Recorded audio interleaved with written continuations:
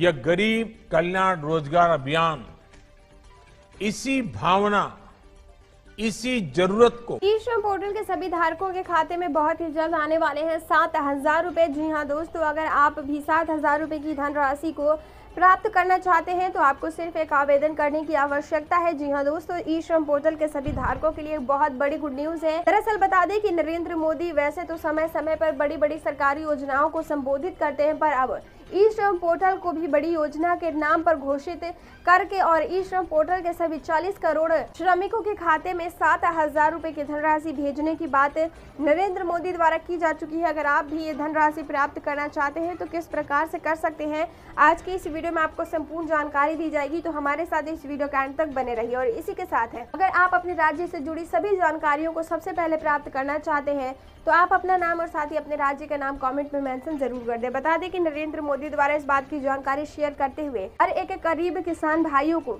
संबोधित किया गया है और बता दें कि ये धनराशि जिन भी लोगों के खाते में बेरोजगारी भत्ता के तहत पहली किस्त नहीं पहुँची थी, उन सभी लोगों के खाते में इस धनराशि को भेजी जाएगी और जिन भी लोगों को फ्री में राशन नहीं मिला है, उन लोगों के खाते में ये धनराशि भेजी जाएगी। बता दें कि नरेंद्र मोदी अब हर एक राज्य में अलग तरीके से सर्वे करवा रहे हैं, जिनके पास भी रोज़गार नहीं है। उन सभी लोगों को रोज़गार दिलाने की पूरी कोशिश भी की जा रही है।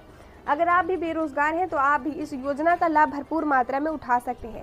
दोस्तों, अगर आपने ई श्रम कार्ड बनवा रखा है, अगर आप भी इस योजना का लाभ प्राप्त करना चाहते हैं तो कमेंट के ज़रिए अपनी राय शेयर ज़रूर कर दीजिएगा और इस वीडियो को लाइक कर दीजिए। जब इस वीडियो को दस हज़ार लाइक हो जाएँगे तो आपको ये सात हज़ार रुपये की धनराशि प्राप्त करने की पूरी जानकारी डिटेल में बताई जाएगी। आपका कीमती समय देने के लिए हमें धन्यवाद।